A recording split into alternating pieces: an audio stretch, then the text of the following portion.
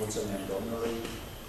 Am mai trecut o săptămână și suntem în viață.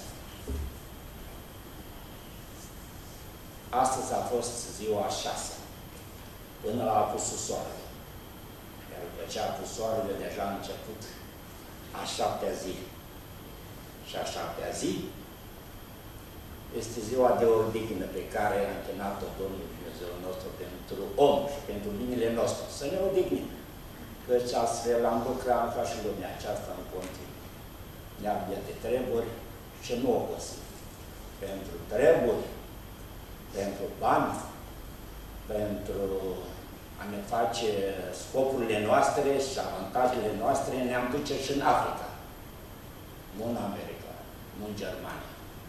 Ne-am duce peste tot, dar să câștigăm ceva mult și să avem mare influență să, să, și să fim văzuți, să fim onorați, să fim cinstiți. Căci banul înalță, banul coboară. Cu banul te poți ridica sus, dar în felul lumii. Înaintea lui Dumnezeu nu e așa. Știm noi. Și dacă vrem să ne aducem aminte, un tinerel care asculta pe mama și a ascultat de mama sfaturile ei. Fă așa, fă așa, fă așa. Și e binecuvântarea fratele tău. Iată ce i-a pus de gând. Să se ducă în pădure, să vâneze un vânat și cu această ocazie să-i dea binecuvântarea de întâi născut. Acel tinerel a primit sfatul mamei, dar dacă mă descoperă, nu, nu, știu eu să folosesc metoda. Și îi spune mama cum să facă. Dar mama iubea pe amândoi, dar pe ăsta mai mult, pentru că ăsta stătea lângă mama pe acasă, a ajutat în toate trebuie. Și și-a ajuns scop. A plecat cu un baston, cu o traistă, cu o legătură, și la un moment dat și-a dat seama de greșeala pe care a făcut-o. Așa cred. Eu așa pot să înțeleg. Și și-a pus în petroi căpătăi și acolo l-a căutat stăpânul. L-a căutat stăpânul și l-a găsit. El a avut o educație bună de la tatăl său, Avram. Asta era Iacob. Dar de frica morții te tot duci și s-a dus.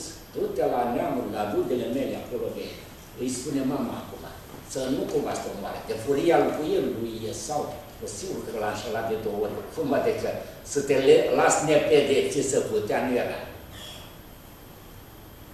De aceea, iubiții mei, frați, a plecat cu un baston, nu s-a dus nici în Africa, nici în Asia, nici în America, s-a dus la rudele tatălui și mamei sale.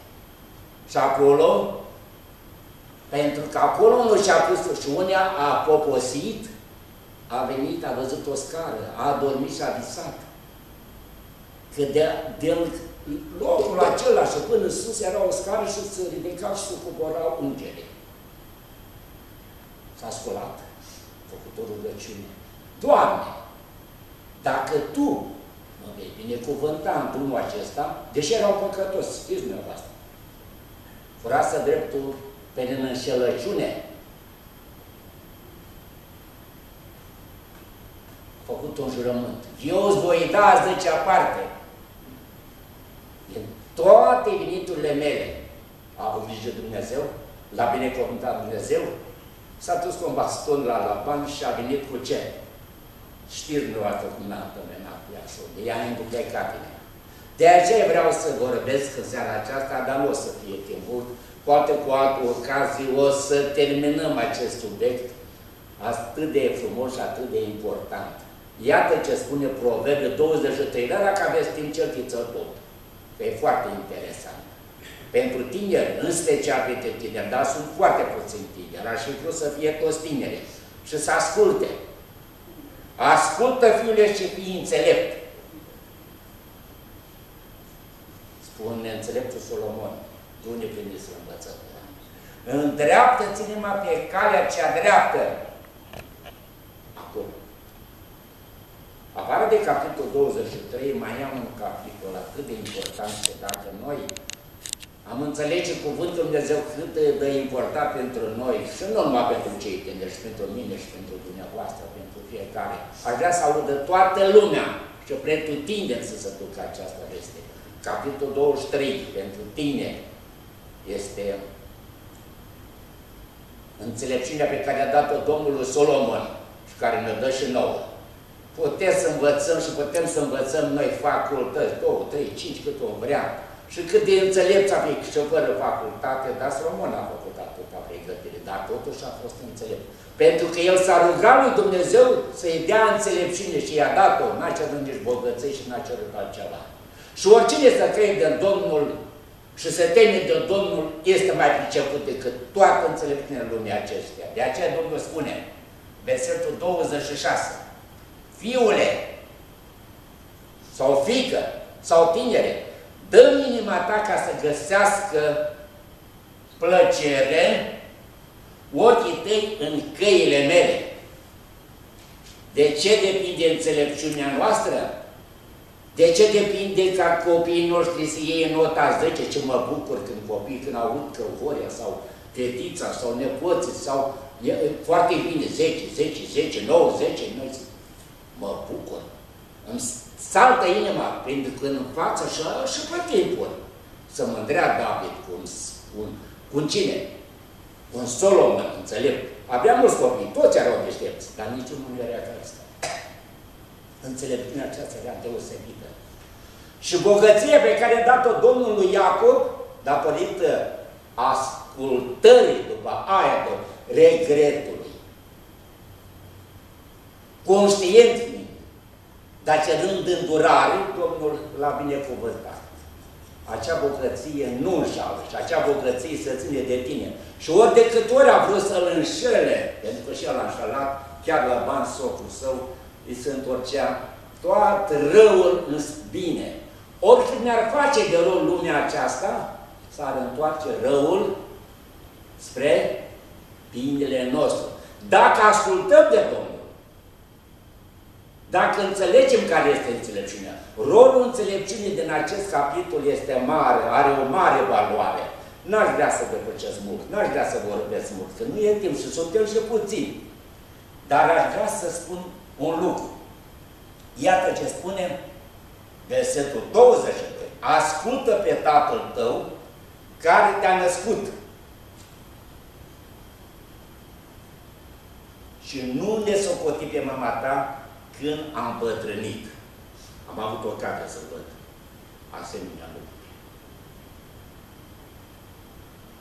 Am avut ocazia să văd. Am lucrat la o femeie, și nu știu dacă am mai amintit vreodată, din satul acesta. Bătrână, dar neputișoasă, nu mai știa ce face. Și m-a rugat să servesc, să, să, să lucrez, nu pe, pe datorie, nu pe, pe, fără bani, copiilor.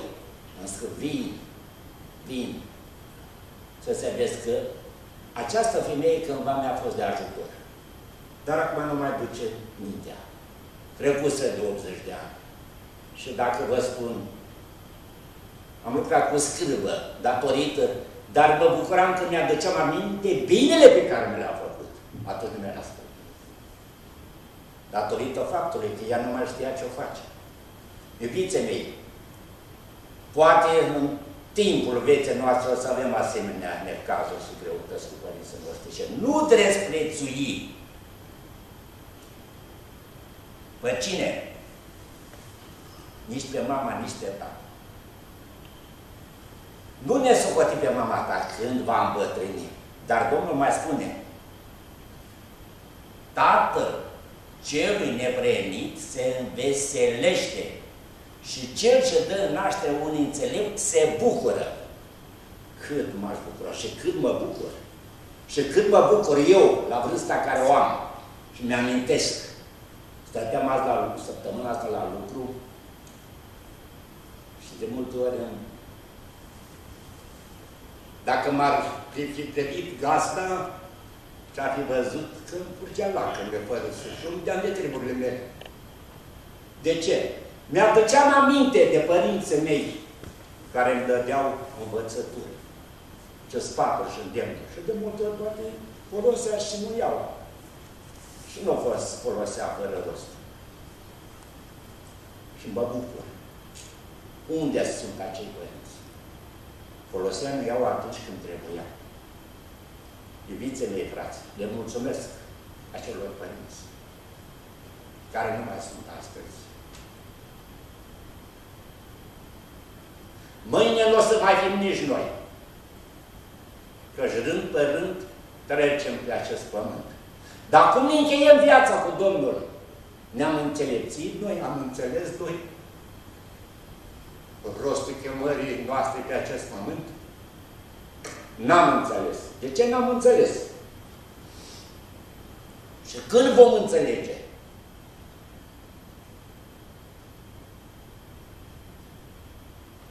Versetul următor, 25, să se bucure tatăl tău și mama ta, să se veselească. Cea care te-a născut, de ce să se bucure? De adevărul pe care l-am pus în mână când eram mic. Tata n-avea multe Biblie. Pentru că erau scumpe și nu se găseau. Avea o singură Biblie pe care cetea eu. Și la școală n-am putut să mă duc, că ce-mi plăcea să mă fie dus la școală. Dar nu puteam să mă duc, pentru că am învățat patru clase și la cele patru clase eram educat și învățat și plecam vineri înainte de apusul soarelui.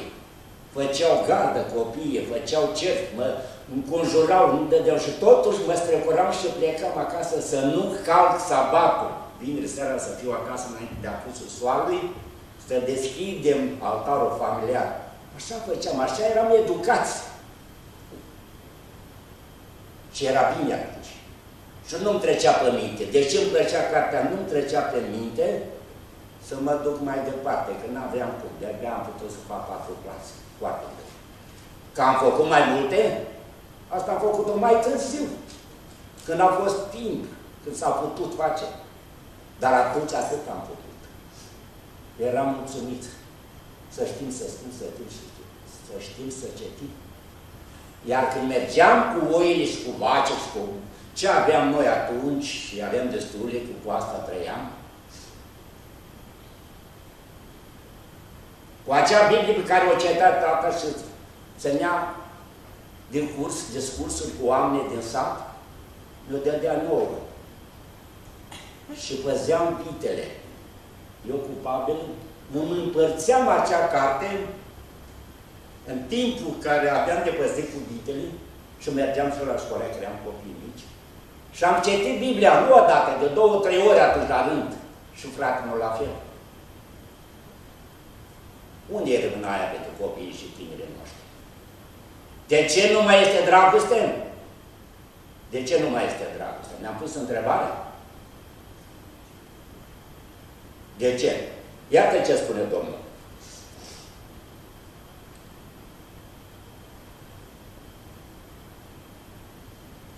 Versetul 23.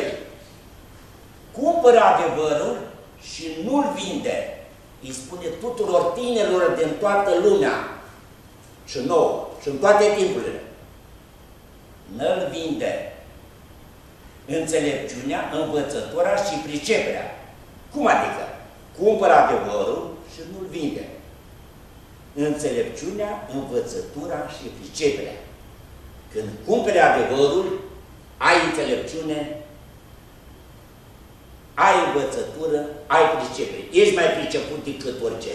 Și te cheamă vecinii și prieteni să, să le dai lecție în anumite direcție, fie în construcție, fie, fie, fie, fie în toate domeniile, cum era întrebat Solomon. Chiar și când era acea femeie care vrea să-și nu să-și să împartă copilul și că unul din copii de fapt, nu era al ei. Și atunci înțeleptul Solomon a știut cum să facă. Să le dea dreptate, să vadă care cum avea să știe, că și una și alta zicea că e copilul ei. Și cum a putut? Cine a dat așa înțelepciune? Ca să facă deosebire. Știm noi, nu? Dumnezeu a dat înțelepciune. Că Dorian nu avea intenție să despice, să omoare copilul. Ca să mai fie cea care nu era al ei, n-a avut bine. Așa să fie împărate. Să nu fie nici al meu, nici al ei.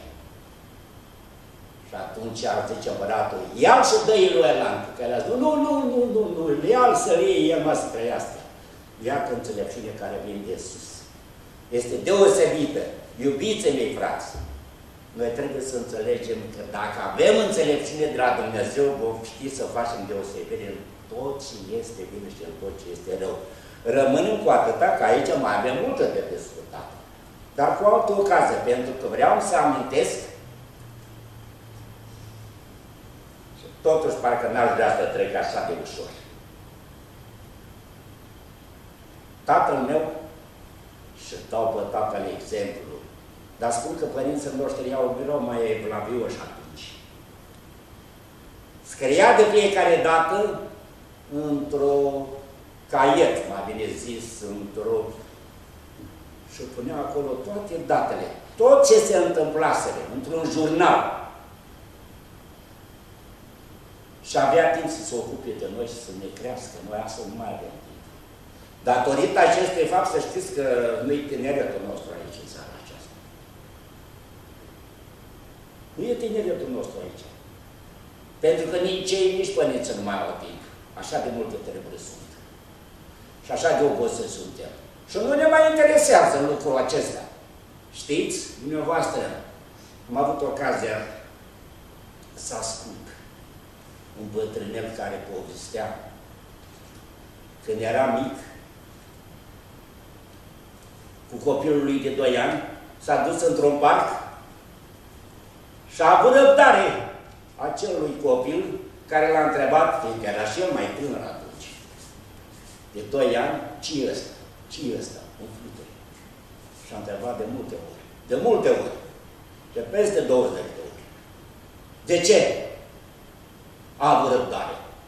Dar când s-a făcut băiatului mare, trecut de 20 de ani, îl întreabă și taică pe el, pe copilul lui. ce e ăsta? Tot într-un parc. Dar ei n-au mai avut timp de conversată, să stea la capă, să, să, să, să fie mai apropiați. Atât de departe să îndepărtaseră unul de altul, pentru că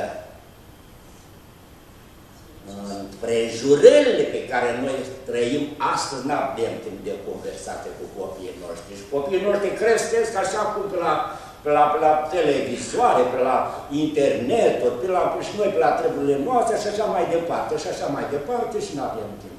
Și când tatăl întreabă ce e asta, răspunde copilul dacă am și el răscoind alte cărți. Eu iar mai apare în timp, dar tăticul era bătrân acum. Și ea spune, nu, dar răspunde mai tare tată, fisul.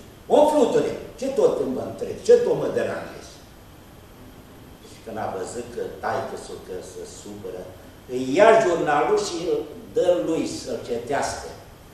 Și de-abia atunci când vede realitatea, când tu erai mic, eu am avut răbdare cu tine. Îl ia și o îmbrățișează. Dovada necorespondenței. Nu avem timp unul de alții. Nu mai avem timp să vizităm frații. Nu mai avem timp să ne vizităm unei pe alții, că avem treburi. Și ne răcim, și ne răcim, în loc să ne înfierbântăm. Ne răcim. Iubiți mei, frați, atenție!